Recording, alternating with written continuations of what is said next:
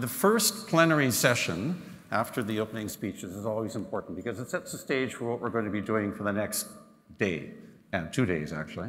Um, so this uh, theme of client centricity we know is very important in terms of driving financial inclusion and moving towards you know, universal financial access in 2020. The issue, we've made progress, as Anne mentioned in her speech. There's been a lot of progress since 2013, certainly over the last few years. The question is, can we make more progress? And this opening plenary session is designed to take stock of where we are in the uh, movement towards greater financial inclusion and using client centricity to, to achieve that, but also to look ahead a bit, where we're going in the next few years.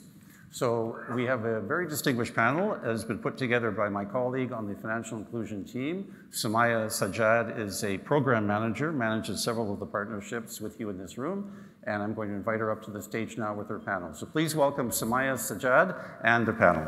Come on up. Good morning, everyone, and welcome back from the coffee break. So Roger announced this as the first plenary session but you know, we're not even a quarter of our way into the agenda, but I feel the energy in the room. I felt the energy in the coffee break, that sense of being inspired. And, and why not? I mean, this morning we heard from Juliet Anammah about Jumia Nigeria, a company that had we gathered together some five, ten years back, we might not have envisioned to be running in Africa in 23 countries the way that it is. It's, it's really exciting. Uh, it's really exciting stuff. It's fundamentally shifting how customers are making purchases. And, and why is that important? Because when you can make one aspect of life go better, then the energy or the effort that you plugged into that aspect can be redirected towards the many other daily challenges that you face. And that really is, is that essence of client centricity. And that's, that's what we're talking about in this room. And that's why we have the Jumias of the world with us at SoFI.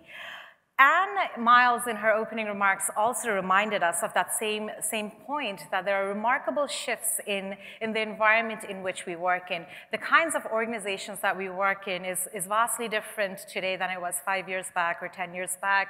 And the customers that we cater our products and services to, their expectations uh, are also much higher. But, but this is all, we should all take this in a positive way. What this means is that each one of us, whether we are an MFI, a commercial bank, uh, a mobile network operator, or a Jumia, or an agribusiness, each one of us need to embark on our very personal journeys towards customer centricity. Because again, as Anne said, transformation is critical. We all need to transform. And this year, over the course of the next two days, we're gonna talk about transformation at many levels. This particular panel is going to focus on transformation at the institutional level, but by the time we end today, we'll be talking about what happens if the ecosystem at the market level looks different, that kind of transformation. And then tomorrow we start to talk about, well, what's the impact of these transform eh, institutions working in a transformed ecosystem? So before I explain my panel any further, I want to do a quick exercise. You all have caffeine in yourself, so you should be able to cooperate with myself. Can I, can I ask all of you to please stand up for a moment? Okay, so obviously you're all the SoFI 2017 participants. Just look around for two, three seconds. I hope that you see some familiar faces because it's always nice to run into friends. But more importantly, I hope you see faces that you don't know. Uh, you know, this is, this is a point that Roger made earlier. Our family is growing. So find those faces you don't know, those organizations you know nothing about. These are the people you need to be friends with by the end of the week, yeah? Okay, so, and now remain standing if you were with us in Kigali last year at SoFI 2016.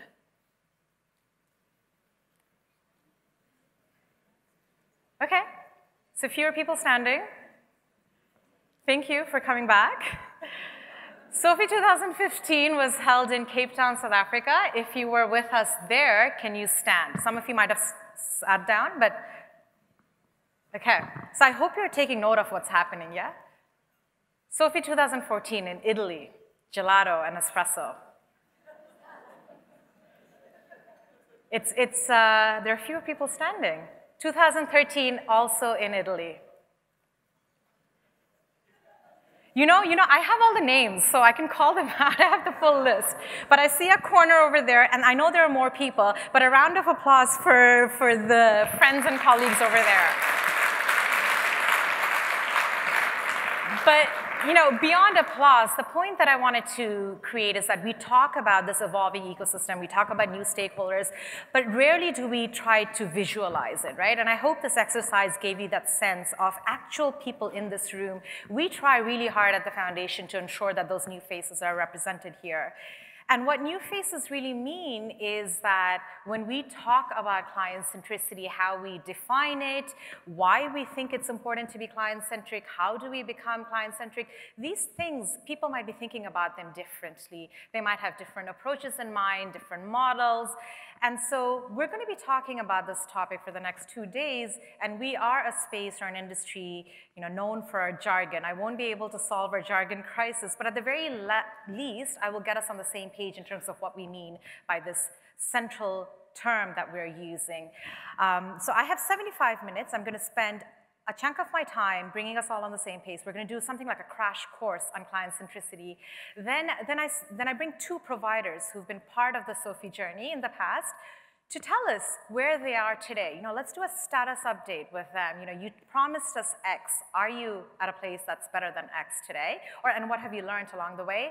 And then let's start pushing the envelope, looking into the future. We've, uh, we've talked about some really big goals and big dreams uh, for this room here. How do we start moving towards those goals and dreams. So that's, that's a lay of the land, and I have 75 minutes to do that.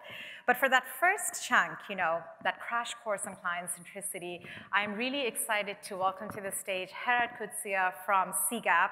Many of you have seen Gerhard at SOFI over the last few years.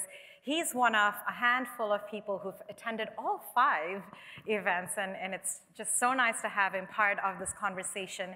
Gerhard heads up the the customers and the provider solutions team at CGAP, where with a bigger team, he works with a set of financial service providers to really implement the many concepts and approaches that we've talked about over the last few years. And so in this very evidence-driven way, he's come up with definitions and frameworks and tools that'll help this room, and more than half this room are providers, really take the concepts back home. So you have 10 minutes. Give us the what, why, and, and the how. Thank you. Thank you, and good morning, everybody. Um, it's great to be here again.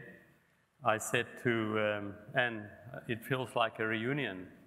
Uh, I don't want to say high school reunion because you all look too old, but, um, but it feels like a reunion. Right. Now that I've insulted the audience and I have your attention, let me go on.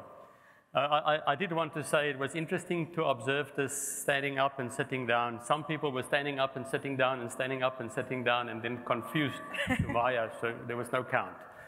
I was thinking about 2013. In 2013, we did not even define customer centricity that year. It is as if we arrived in Turin and we decided that we're going to put the customer at the center and that's what we're going to do. And we did it quite well. So that symposia sort of said, here's the topic, that's where we are going. End of 2014, people ask, so what is this definition of customer centricity? And we looked at each other and said, well, we better start using a definition because people are going to ask us again the year after. And we looked around and we thought, well, customer centricity is not about just smiling and customer care and being friendly and working with poor people. It is much more than that. So we start using this definition. That's by Doug Leather in a book called The Customer Centricity Blueprint. And it basically says customer centricity is a business model that operates in a firm's ecosystem. Suddenly, you're looking at a whole systemic approach, or systems approach. And that ecosystem consists of customers, employees, suppliers, shareholders, uh, and the communities it serves. Part of that are also the partners that you work with. And suddenly when you start arguing that, you're thinking far more thorough, far more comprehensive, and far more about the many places things can go wrong if you don't have your eye on the customer. And how do we measure our achievement around customer centricity? Well, we'll come back to this several times, during today's discussion, but the one way of looking at it is whether you created value for the customer, value for the firm, and let's hope value for society as well. So what drives the adoption of customer-centric models? Well, mostly shocks, mostly challenges that we have to look at and we have to face as financial institutions. And the, the reality of these challenges or these challenges are derived from how customers perceive your services, whether you are eroding customer trust, whether they have a good or a bad experience. And um, this leads to non-take-up, low use, dormancy, dropouts, and uh, we know that as a sector or an industry, whatever we want to call ourselves, we are not doing so well in terms of that use part, which is something that we have to attend to. It is not only shocks, it's also customers are more informed. Social media helps a lot with spreading the word. And we know that customers make financial decisions mostly on the basis of word of mouth. So uh, we have to be attuned to that as well. More customers demand value because they're better informed. It's a more competitive playing field, so we have to differentiate ourselves. And lastly, businesses are also looking for more sustainable business models, of which the customer-centric model is definitely one. How do you move to become, how do you adopt a customer-centric model? Well, it is probably an exceedingly difficult thing to do depending on where you are in your maturity as a firm. If you're a startup firm and you can instill that kind of behavior uh, right up, up front, it's probably easier. If you are a sort of a firm that's quite mature and you've worked on a different model, that's quite a challenge. But they say there are three shifts that are of importance when you want to be more customer-centric as a firm. Firstly, is the culture. And as leaders, and you are the leaders in the room, you are responsible for that culture. Secondly, it is about strategy. Oh, sorry, strategy first. Um, and the strategy is based on you as a leader focusing on that culture. Secondly, culture, where the culture is changing from product-driven culture to a culture of solving customer problems. And then lastly, structure follows. I must tell you, it's the first time in many years that I'm using uh, notes to speak. Uh, I, I, I, know Jan, uh, Janina was quite surprised by that, but, but my general here is a strict taskmaster. Right. So, um, so now that we've looked at uh, what is the definition of customer centricity, what is the the, the drivers of customer centricity and the fact that it's difficult to uh, adopt this model, let's look at our journey uh, at the symposium over the last four years plus this year. So at the bottom of the slide, you have the pillars of customer centricity, which we've synthesized from research across the globe in terms of firms that are doing well in this regard. And, um, and the first one, customer-centric leadership and culture, we've literally covered at every symposium from 2013 to 2016. The second one, customer-focused operations, we are a little bit sort of light on work in that area, although, although Nick Hughes, and today you will hear from Jon Ridley M-KOPA, has a lot to say about that. Um, and Nick shared this with us in 2016, if I remember correctly. Yeah.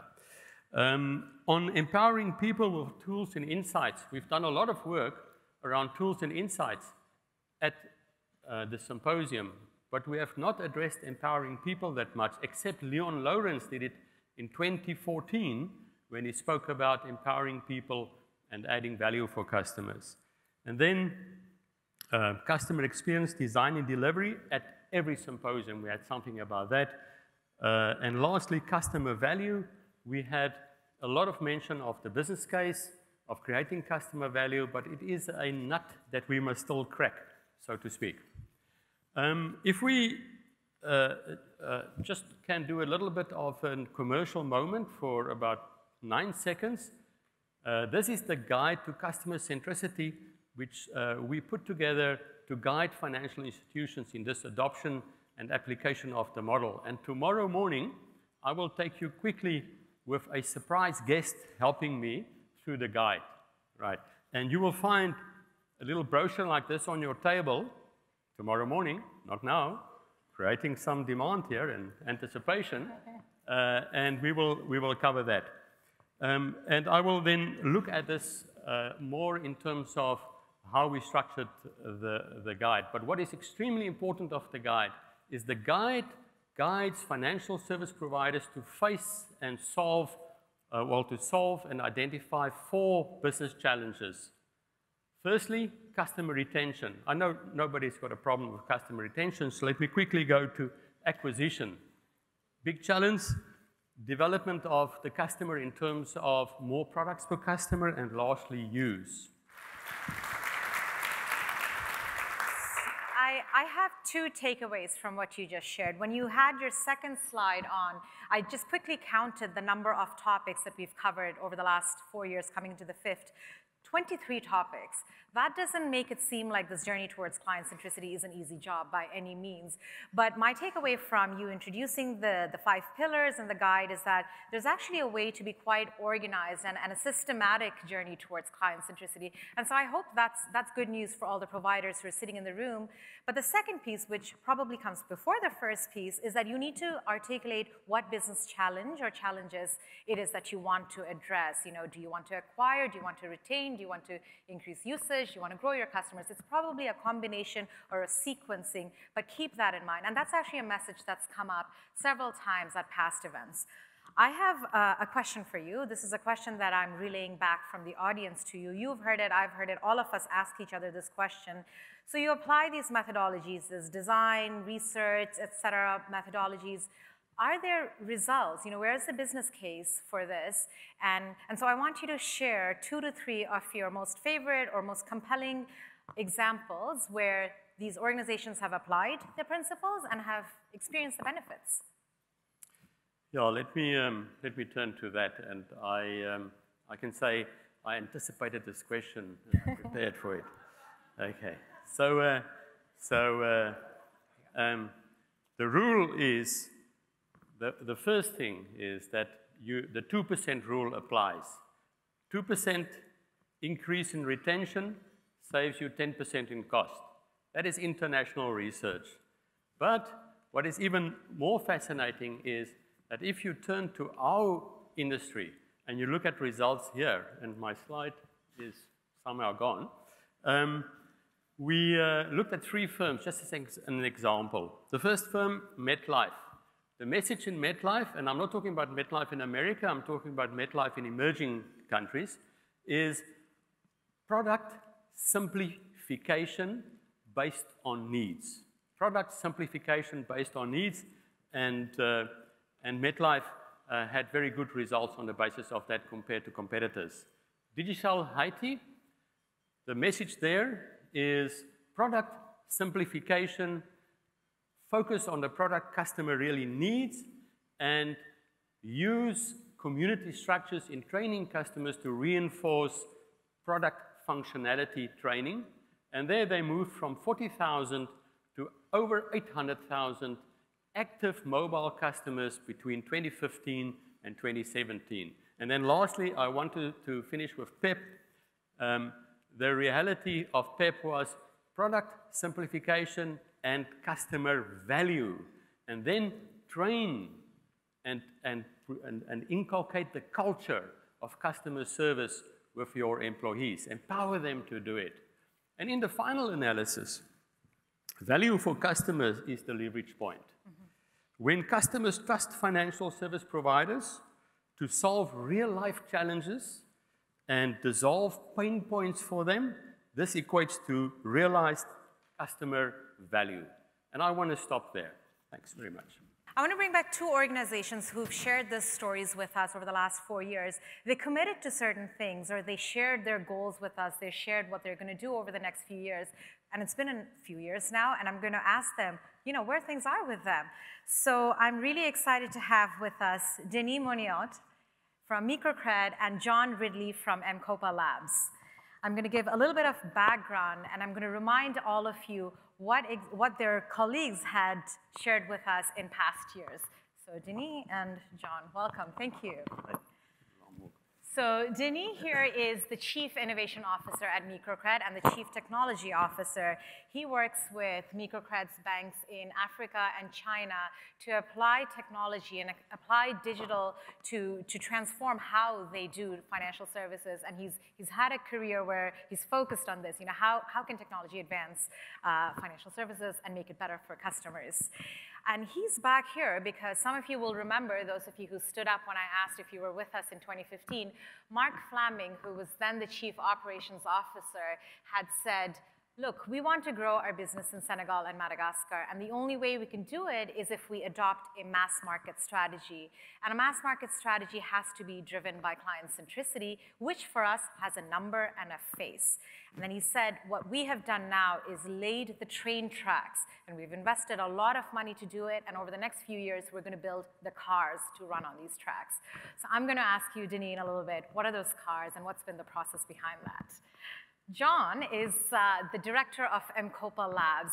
M-KOPA Labs is that cool unit within M-KOPA where new solutions for customers are envisioned. What is that next problem for clients that M-KOPA can address?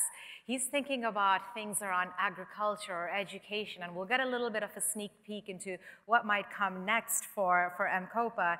And, and prior to M-KOPA, Jon spent a lot of time in this world of innovation and startups. So, so we're going to have two different kinds of provider conversations, but I'll try my best to bring out some of the common themes. And Jon, uh, a little bit of background on what his colleagues had shared with us in the past.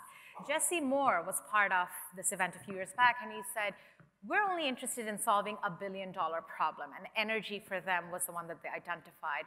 Nick, uh, Herod, you referred to him last year, he was here, and we had invited him to talk about data. So he spent a good 20 minutes talking about data, and right before the end of his talk, he said, yeah, we're known about data, we know how to use our data, we know how to mobilize our data, analyze it, all of that, but 80% of our success is real boots on the ground, hard operations work. So Jon, I'm going to ask you questions on that. And, and so keep that in mind, keep that background in mind, and as they give you the update, think about questions or uh, ideas or thoughts uh, on that sort of timeline.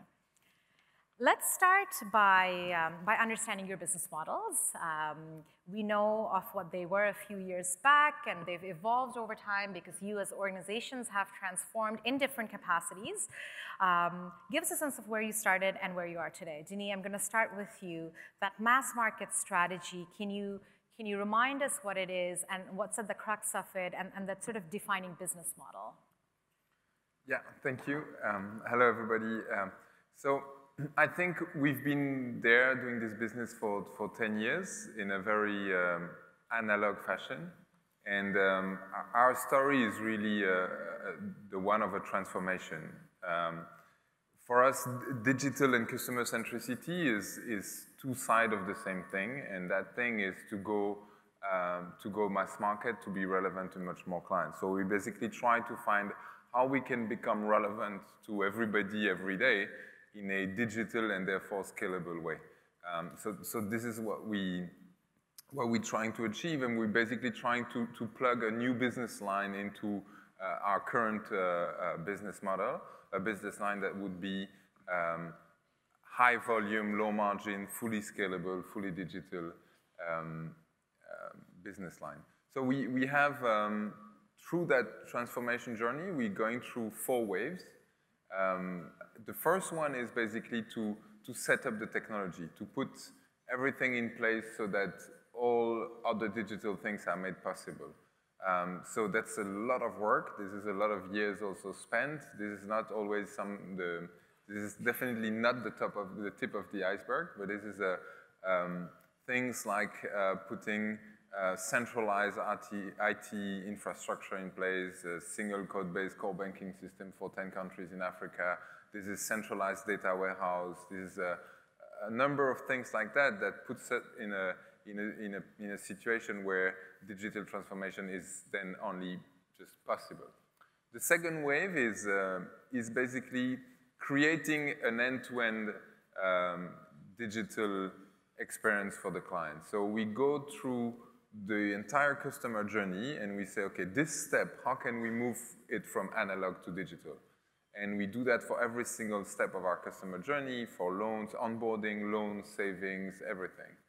Um, the third one is, is basically to say, we also have a core business that is there, that is actually um, taking care of already many clients. It's, it's what the company has been since inception.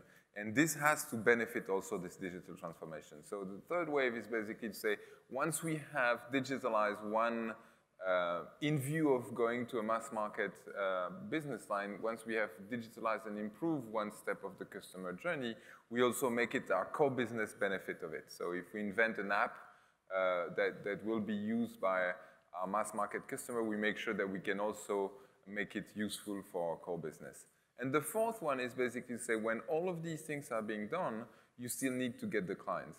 And the fourth one is basically um, acceleration. It's basically uh, acceleration of adoption of new clients, of usage, and, and, and leveraging more things like digital marketing, social media, so that we make sure that we have also, we are scalable also on the, on the growth of the customers. And so now, where are we? We are basically uh, finishing wave two and three, so building the full digital uh, customer journey and, and starting the number four, acquiring the customers. Oh, thank you. I'll ask you more about the waves and how you've been riding them. Uh, I think you, I know you have some interesting updates on that front. Jon, I, I, I have a similar question for you. Can you describe M-Kopa's business to us? We know M-Kopa, we've heard from M-Kopa, but you've scaled tremendously. Every time we talk with you, there are more numbers to share. So, um, you know, where are you today? Okay, yeah, thank you. Well, um, you know, Jesse Moore is an entrepreneur and setting a, a big target is his, is his job. I, I, mean, I think the, we've, in the last two years since he was here, we've experienced 100% growth, which is, we're nudging on 600,000 customers. Uh, very exciting. Um, but maybe qualify what he said by saying energy is a starting point in, in terms of the financial services that we're looking to um, provide to customers. Uh, if, I'm sure a lot of people know M-Kopa, but some won't. The M in the name stands for mobile, and KOPA essentially is uh, Swahili for borrow. So it's mobile borrowing, and our catchphrase or motto is Maendeleo ni Leo, which essentially means helping customers to upgrade their, improve their lives. So we're all about providing flexible access to credit to help customers. Um, to develop the credit relationship, we have to develop a, we have to sell a product. That's our starting point. We don't lead with credit. And energy there is, is the starting point.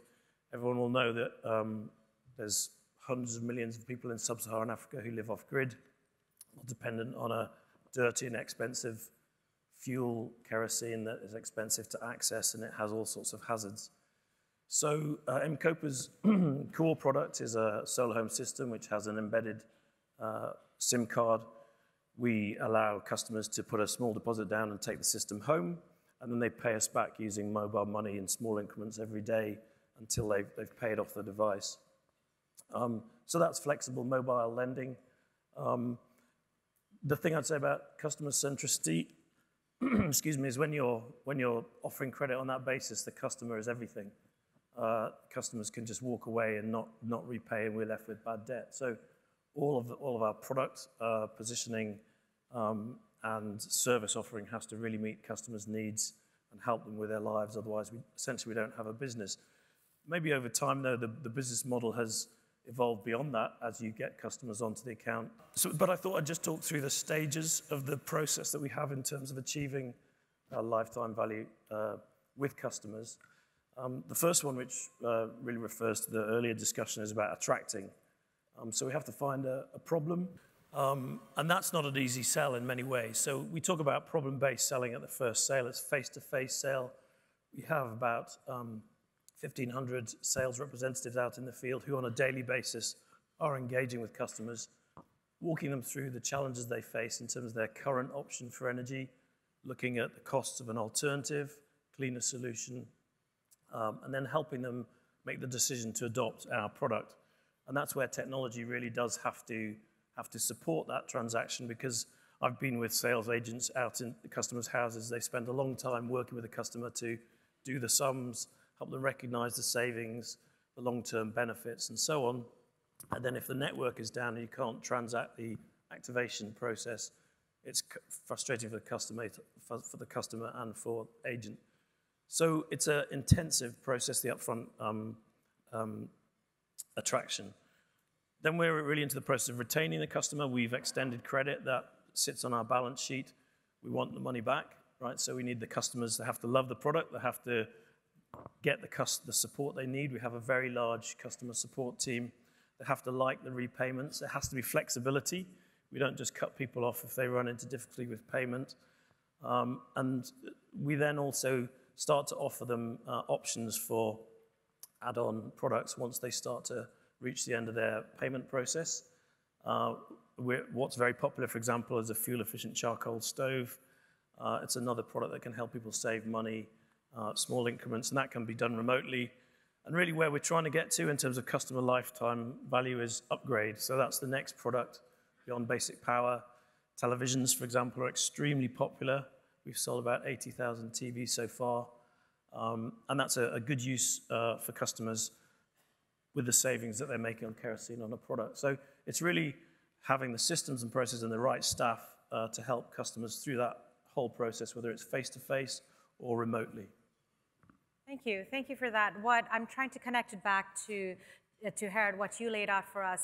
The, the common theme I'm seeing here is that both, uh, both Microcred and M-KOPA obviously, like many of you in this room, are trying to grow your customer base. So you have this continuous acquisition cycle that's going on. But while you're doing this, simultaneously, you're trying to do more with your existing customers. And you have all of this back office and technology and operations work that's, that's evolving in order to facilitate that acquisition growth and, and retention, uh, th those challenges that, that Gerhard, you mentioned. So I, I'm, I'm going to dig a little bit further, Microcred, uh, Denis, with you about Microcred. So you lay out these core technology blocks that you refer to, the, the first wave of the four waves. Can you give us a, a more real example of designing and launching a product that'll run on those rails, a, a product with a new digital face for customers? Yeah. So um, I'll take a, I'll take one example. that I think is, is has been very interesting. We we have um, uh, designed a new product we call uh, Taka. It's the name of the product.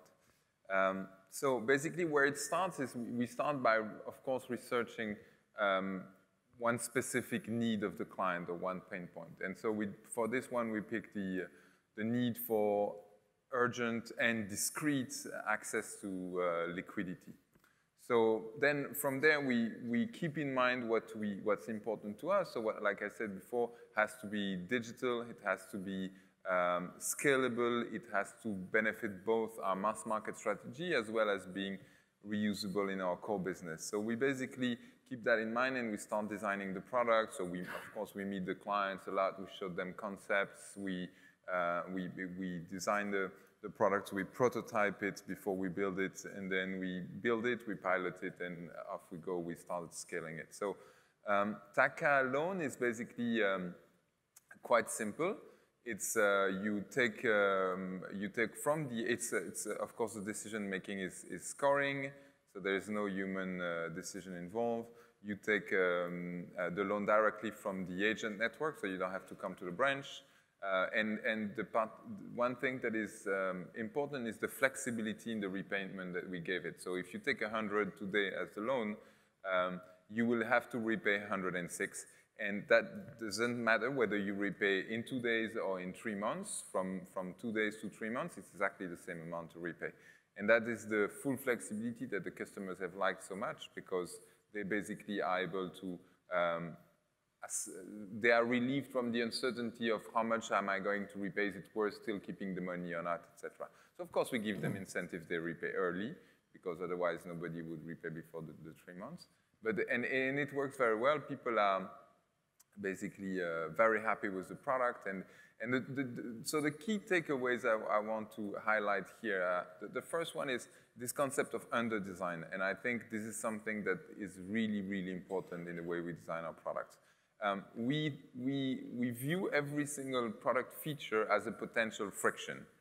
So basically what we try to say is, okay, is this idea, this feature really important or can we do without it? and, and we try to under-design the product. And the, the goal of that is to let the clients actually show us the way on the way they want to use the product. So we make it very simple, and we've observed behavior of people using the product in very different ways. Some of them really like we thought, to just take an emergency, an emergency was arising, they were taking the loan and that's it. Some others were rather to manage the peaks in their working capital needs um, and, and many, many, different ways. So everybody sort of self-serve what he wants from the product. And, uh, and, and this is giving us, um, for the future, a lot of ideas on what to do. We could now make it better, you know, split the product in two, make it better for some usage and some others. So under design for us is very important. Another aspect in this process of building the product is this, this, this thing of digital versus human relationship. For, for a long time, our relationship with our customers has been extremely human, extremely human. So it's actually more than a relationship between Microcred and its client, it's been a relationship between portfolio managers and their clients. So when we launch this digital product, we make people eligible, we send them an SMS for the offer. Uh, and it's written, congratulations, you are eligible for this amount, for this loan, any information you need, call center number. What happens is all clients call their portfolio managers, never the call center. And they, want say, they say, I've received this SMS, what is it? Should I take it? Is it, is it real? Is it good for me? Um, so this, is a, this has been an issue for us because um, uh, obviously this is uh, um, reducing the scalability of the product. We now have to train all the commercial officer who's going to be called. Um, so it's a challenge that we have to look at. And the, the last thing I want to highlight is, is um, internal buy-in. You remember my different waves, so wave number three is make our digital product also useful for our core business.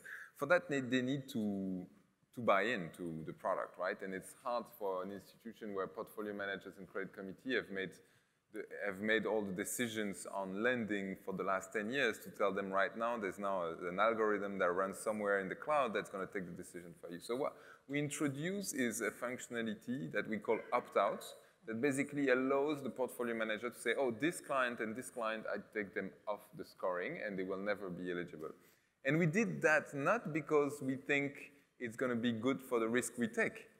We did that just because we thought that if we do that, our staff will have the feeling that they have their still something to do about the product and they, it's, it's, they might avoid one or two very uh, fraudsters to take the loan uh, that, that, the scoring might not have seen.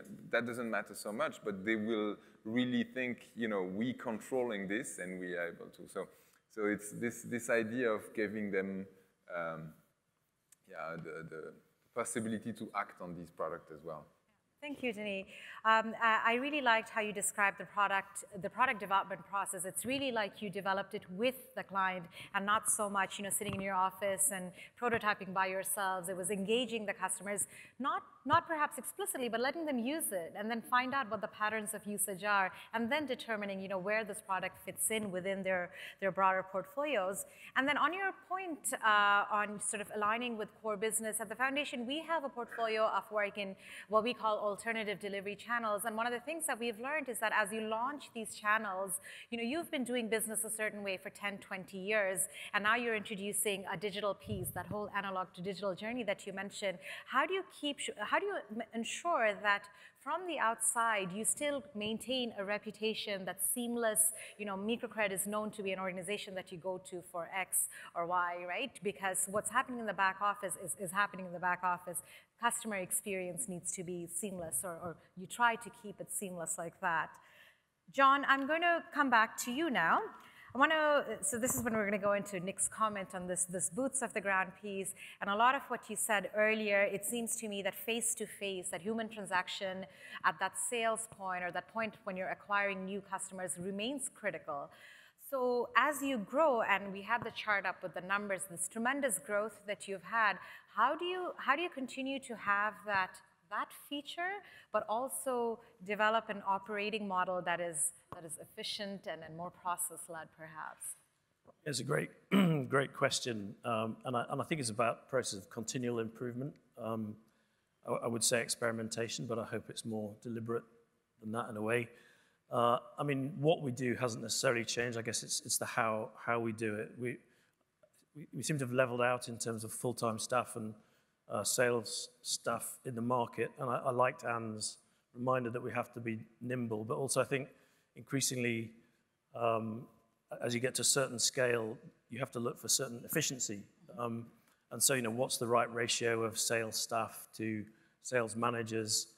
Uh, and, and, and I guess the thing that's changed, I've seen, or the development has been, M-KOPA has always had a rich data feed, but increasingly becomes data informed, if you like. So if you go to a stand-up meeting at any level, whether it's in one of the shops or at HQ, you'll, you'll see these data feeds coming in. And if something's happening on repayments, uh, there'll be immediate uh, contact with customers to understand is something impeding them? Is it a systems problem? Is it part of the pricing policy? So, um, and, and, that will, that will um, help us, those, those data feeds, for example, we know that just absolute numbers of sales staff in the market doesn't lead to happy customers or numbers of sales. It's touch points with customers, numbers of touch points, and if you like, successful touch points with customers. So, and we can now, um, on a daily basis, measure the, the extent to which our sales team are out there um, and some of that is technology. Uh, we do have sales apps that we're equipping our staff with. Um, and for example, on a Monday morning, a video will go out from head of sales telling everybody about the new offers, um, reminders about customer preferences and so on. And actually, some of our customers have tried to download and download and use that themselves. That's not its intention, but you know that's an interesting opportunity, isn't it? Um, but we, I guess uh, the other thing about like maybe let's call it maturing, the organization becomes increasingly specialized as a sort of young entrepreneurial startup. Everyone was involved in everything. Now teams are pretty much super zoomed in on, you know, the credit team, focus on credit. If we want to know, is the election having an impact or harvest has failed somewhere, the credit team will be able to give those data. Um, and, and that's, that, that, if you like, that increasing specialization whilst understanding the context of customers is, is really important. And I think the other thing that maybe changes over time, and Jumia, I think some colleagues have been speaking to Jumia and Kenya about um, partnering partnership becomes important because we can't do everything. We can't develop all the products, we can't distribute all the, the products, um, and we can't satisfy all of the, the customer needs. So um, we've, we've kind of been fully integrated in many ways because we've had to, but um, serving customers' needs as they expand beyond energy alone. Um, more use of credit um, depends on partnership to a large extent, I think. So I want to go into that point, going beyond energy, and, mm. and I want to go deeper into what you're representing, mm. M-KOPA Labs. So you, in an earlier conversation, you mentioned that you feel M-KOPA is only scratching the surface in terms mm. of what it can do to meet customer uh, customer pain points. So uh, what is what is the philosophy behind the product expansion, the product suite expansion? You know, can you and, and I promise the audience a sneak peek into what we might see from M-KOPA. So how do you decide where to go next? Because you have this operating model, model that's been established over the last few years. How do you decide what to provide and, um, and then tell us what we might see? Sure. Um, well, I guess I'm trying to be really sensible, but part of my job is to be a little bit irresponsible and, and think, uh, try and think a bit further out. The, the challenge in uh, organization like M-KOPA is it, innovation is, is built into the DNA. It's set up by three entrepreneurs. Um, but the core business, as it grows, has to have this focus and stay really uh, keep a granular attention to customers' needs, sales, and so on. So the challenge or the danger with a growing organization that's really focused on the now is you don't have enough uh, time and resource, frankly, to worry about the future. Mm-hmm. So Labs, uh, Nick, uh, who's the chief product officer, one of the founders, was particularly concerned that we, we, we do both. Um, so Labs is a, a smallish ring fence resource to uh, create a buffer between the day-to-day pressures of, of sales and looking after customers, and anyone in Nairobi who, who's, who's good, and there's a lot of good people, get focused on, can you help us solve this problem? Just a bit of buffer between that and thinking about, well, what will our customers want in two years? If they have paid off their lights and they have a TV, what else might they want related to power? Uh, or if they have this credit relationship with us and they're involved in farming, can we satisfy that need and how do we do that? How can we play a, a role with credit and knowledge of our customer and, and, and facilitate distribution of, of agricultural inputs that they need or just credit that they can then choose themselves? And, and so our role is really to um, experiment sensibly within uh, strategic areas that are defined by our board, recognizing there's a whole range of opportunities out there. Um, we have to see that point at which we join up again.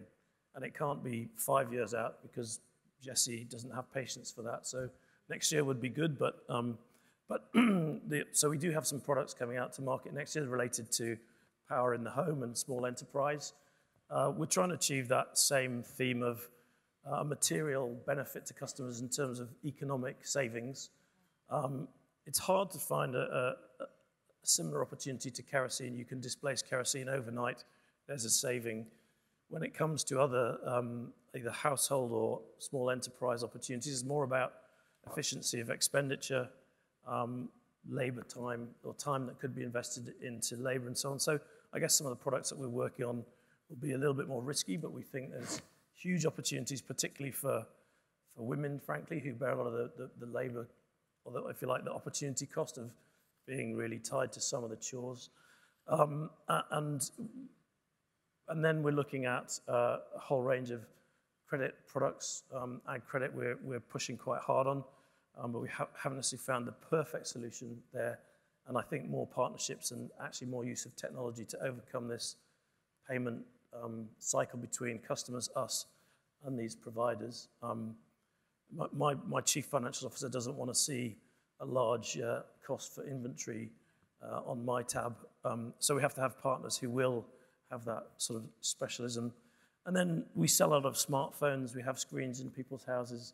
So content connectivity, affordable connectivity, and then uh, valued or valuable services, whether that's content information or actually entertainment uh, that we can layer over that are some of the key areas that we're working in. Is that enough of a sneak peek? That's, that's enough of a sneak peek, but I'm sure you're going to get many questions in the hallway, so be, be prepared for that. And there are especially, I know, I know there's a lot of people from the rural and ag finance space, so, so be prepared for that. And I wish we had time to jump into that. But I also, I just want to uh, repeat one thing you said, that careful experimentation. I hear it as, you know, this appetite for uh, measured failure. You know, we, we talk about how do you build a culture that allows some small, small mistakes to happen from which you can learn, you know? Yep. So I, I, heard that a little bit from you. I have a final question for, for both of you, which is around how, how do you define success? So within your four waves of mass market strategy, what does success look like for you, Denis? Um, the obvious number of uh, loan, TACA loans disbursed, uh, um, uh, the revenue, uh, um, the usage, uh, just also sometimes you, you can uh, start measuring success when you go onto the field and you have some qualitative feedback. I remember someone who um, who, uh, a client who I've been introduced to as the person who led the team who invented the loan. And then the guy said, but you, it was in Senegal we introduced, and the guy said, but you're not Senegalese.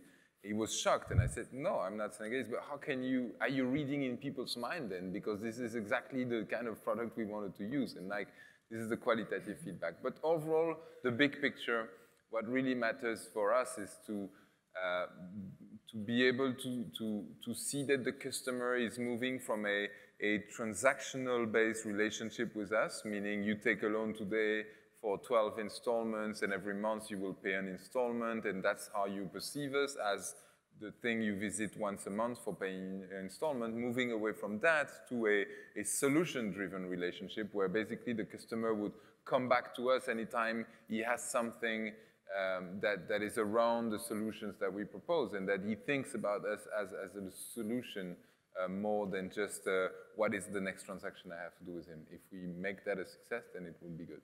That's, that's a really good picture of what success looks like.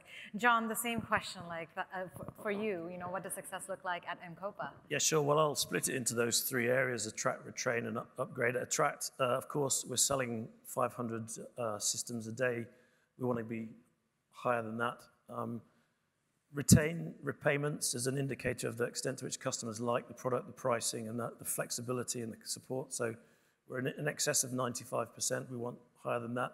Net promoter score, as we, we call it, would someone recommend in excess of 97%? And then the upgrade, which is really the new part of the whole thing, is we're, we're I, think we're heading for 60% of paid off customers upgrading to uh, another product.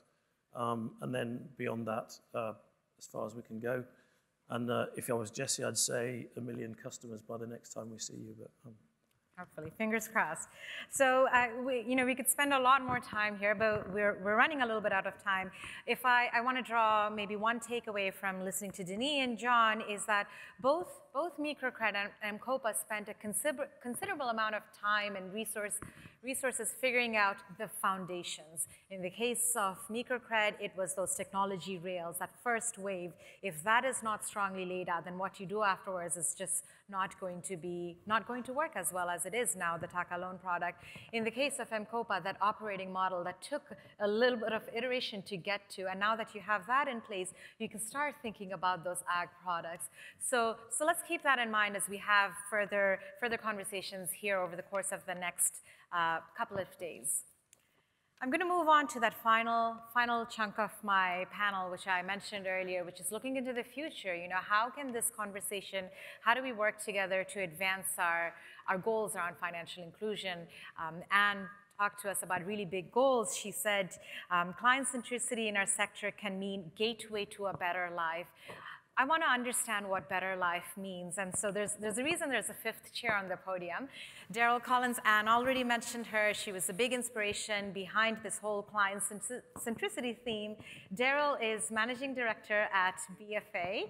Um, and we really know her for someone for her financial diaries work, but also just the extensive amount of time she has spent to get to know customers and, and their financial behaviors. And a little bit of history, because I gave history for Microcred and M-KOPA, and Daryl was part of her first symposium in a panel where the question was, what do clients want from financial service providers? What do they want from their FSPs? And, and we're still asking ourselves that question. And then she came back and talked to us also about research methodologies. But one message that she's always been giving us is, is focus. You can segment down right to that last customer, but there are market level livelihood patterns. Keep an eye on that, and that'll help you design what it is that you want to design. And the other thing she said is you can research until the cows come home, you know. but uh, if you don't know what business challenge it is that you want to address, this is, this is not a very productive way of doing business. So Daryl, my first question to you uh, today is the first question we asked you in 2013, but I'm going to drop a letter. What do customers want not from FSPs, but what do customers want from FS, from financial services? So I think that we all know in this room that customers don't really want an account, and they don't necessarily want a wallet. They want the things that that will bring them, right? They want a better roof on their home. They want their kids to stay in school for longer. They want to eat meat or vegetables a little longer during the month. They want those tangible rewards. That's really what they're looking for. And I think part of what we don't realize is that finance is this very nebulous poverty alleviation tool it's not that easy to really track the impact on people's lives.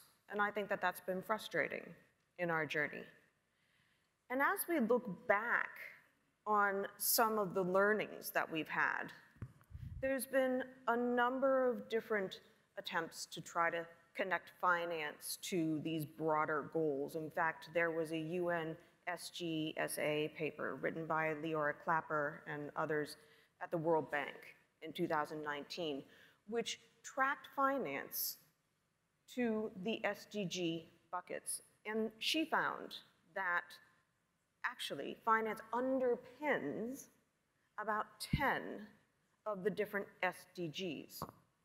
And so in that way, we're, we might be giving ourselves a little bit of a disservice by only thinking about how does finance actually lead to poverty alleviation. That's one SDG and it's incredibly important. But it's incredibly hard to move and you only see the effects of poverty alleviation or even increased resilience over time. So we should be thinking about the impacts of all the things that these gentlemen here on the stage are actually doing with their clients. They are impacting safety and security for their clients. They are impacting light and uh, cleaner energy. They are impacting a number of different factors in people's lives. It's just that we as a community might not be counting them quite as well as we should. So I think in many ways, we need to rethink how we create impact in the lives of low-income people. I think that if we think of it more as spreading through their entire lives, then we may actually see that we've done a bit more than we think we have. Thank you. Um, I have, uh, I want to understand this better. You're right, you know, we talk about financial inclusion as a pathway to economic inclusion, but there's this big black box in the middle. So um, you said, you know, we, we've made certain advances. Can you, can you give us a sense of, well, I have maybe a two-part question, you know, what, what are your thoughts on how far we've come?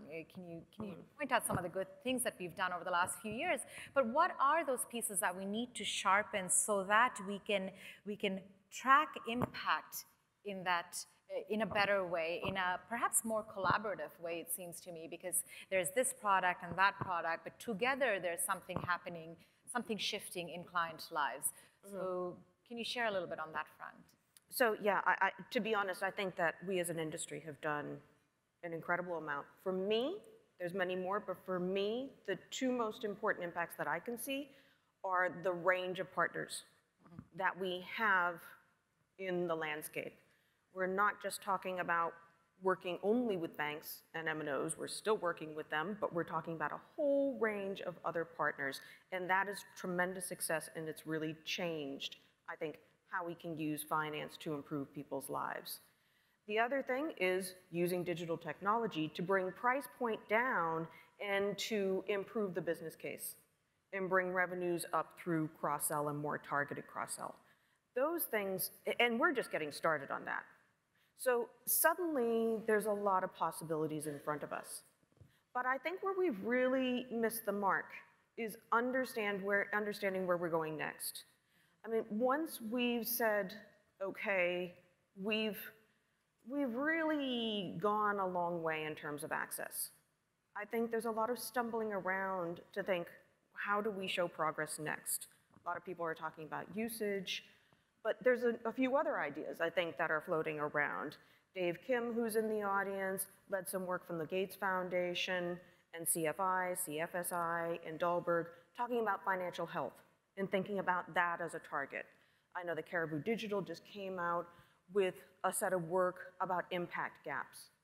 I think we can actually go a little bit further, and I think a lot of the philanthropic capital underpinning our efforts is actually demanding that we go a bit further. In fact, a year ago at this conference, Mark Flaming, who Sumaiya mentioned, um, approached me.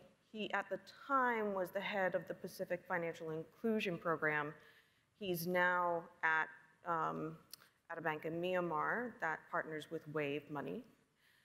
But Mark said to me, you know, I don't think my program has a problem yet, but I keep getting asked by my donors what impact are you having on people's lives? I know that you're tracking usage and you're tracking your accounts, and this is all great, but can you put this impact in a framework that I can understand?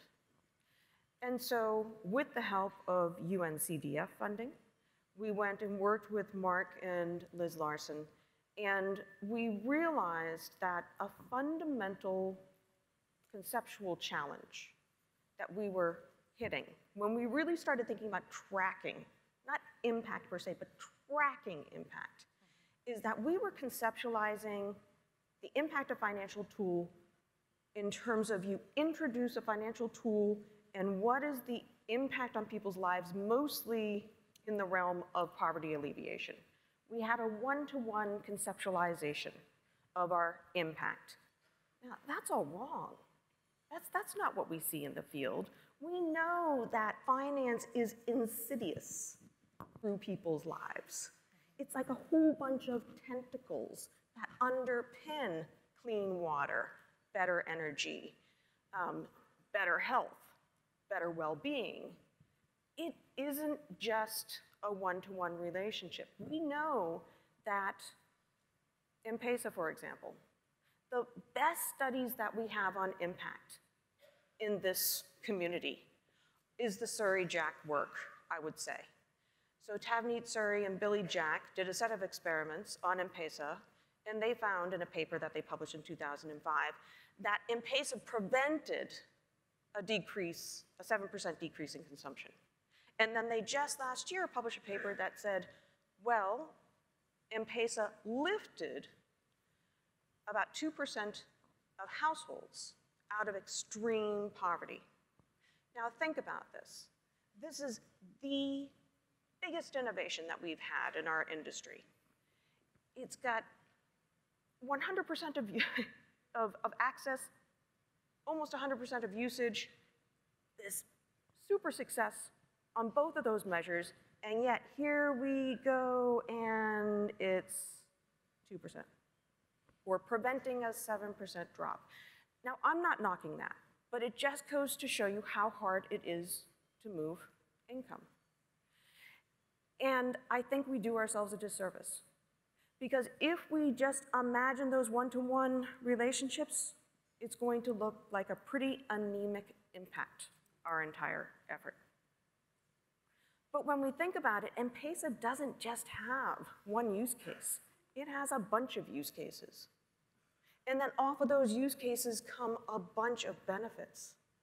And then we know that people have 10 to 20 different financial instruments in their portfolios. So suddenly when we think about all those different webs of impact pathways, and we gather them all up, I nearly tripped over one of the wires coming up here. And that's the analogy that I'd like to make. It's like one of those thick wires. If you cut it open, you might see 10 different small wires going to a single impact. Now that looks like what we know is happening with our financial interventions. Now, this doesn't necessarily have to be expensive. I think part of the reasons why we've kind of gotten into each other's way is because we think that impact has to equal an RCT. Now, RCTs are awesome when you really need a good answer. But it's not, doesn't mean that we can't track anything else. Finance is this wonderfully rich data set. So we can track pathways to impact. We're doing this with the PFIP portfolio. We'll be tracking their portfolio over the course of a year. It's not expensive. Um, it's a little bit of data science. We've written some code, um, and their partners are going to run it, and their partners are going to add a couple of questions on their customer satisfaction surveys. Not only is this going to help PFIP see where they get the best bang for their buck, and better explain the story of financial inclusion to their donors, it also helps the financial service providers who can then see where they might be missing the mark on serving their clients. And that is just good business. Thank you, Daryl. So you're, you're pushing us again, and rightfully so, to think mm-hmm. about measurement differently and in a bigger way. And not measurement for, for measurement's sake, but really measurement to hold ourselves accountable to these bigger, bigger goals that we're, we're signing up towards. And, and I, I, yeah, this message that impact might not have to be an expensive RCT. It could be these um, additional three or four questions in customer satisfaction surveys that financial institutions are already doing with their customers. Okay, so uh, I wish we could keep on talking, but there are 10 minutes left on the clock, and, and I want to take some questions for the floor. I'm going to ask that the first questions that we get are, are for MicroCred and, and for M-KOPA, because most of you are providers and might want to know more from Denis and from Jon. So uh, if you have a question, please raise your hand. And, and when you state your question, if you can state your name and the organization you are from, and, and direct, let us know who your question is to. Is it for Denis or is it for Jon? And, and, and it's okay. If you have a question for Gerhard and Daryl, we'll take stock of them and maybe we'll get to them later. So, hands. I have a hand here. Let me get the microphone to Simona. Very interesting presenting two very different business models and uh, they both have the technology underpinning and um, but my question to Denis is um, on this um, uh, artificial intelligence and uh, credit decision being made or taken out of the human um, decision, do you have the data that shows uh, which one has the better accuracy um, between the algorithmic credit decision versus the, the model where you know, um, your officers would make the credit decision? Is that already showing the answer is, uh, of course, the scoring much better, but uh, I need to explain a little bit further.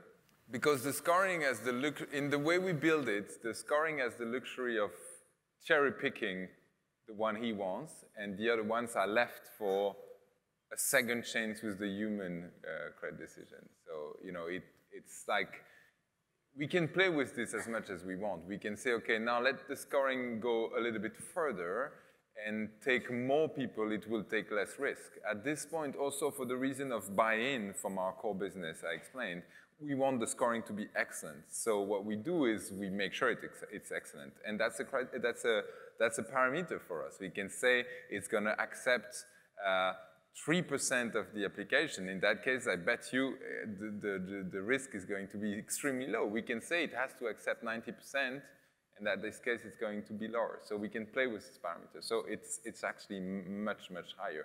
But the, the reality is, is what's really important to us is, is not only which one was the best, it's also the end result. The scoring hasn't taken any time from anyone, you know? So even if it gives, if it authorizes some loans that a human being would definitely have said absolutely not, even if we have proved that one, it's not a big deal. It's not a big deal because we haven't spent much time. So all the other ones will, will pay off for that one. In, in our case also, just to add this, um, in our case also right now, uh, it's important also to recognize that the scoring is actually based on, on, it's actually made possible from the fact that human beings have taken decisions for the last nine years. And that is what is helping us to make, to automate that, you know? So it's also taking into account um, our scoring all the, our past that is a result of a negotiation between a portfolio manager and a client.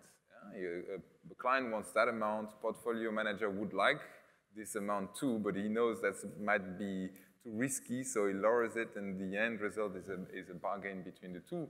And this is what we've observed for nine years, and now we've been able to say, okay, if this has been like this for nine years and people have repaid like that, then we know uh, what decision to take right, right, now. So they are complementary. Uh, my name is Ezekiel Phiri. I'm coming from Malawi, CUMO Microfinance Limited. Uh, my question goes to, I think it's MicroCred. Um, if I heard you correctly, you said the, the program that you're doing, a person borrows, and it doesn't matter whether they pay early or later, but they pay the same amount. Mm um, wouldn't that be unfair on those who actually pay you uh, on time and faster? And I wonder how that matches then with um, um, customer protection measures. Thank you. So I think, first of all, I think uh, there is, paying on time is, is, is three months. It's, you rephrase what I said a little bit differently. You said it doesn't matter if, if you repay late. No, no. If you repay late, it matters.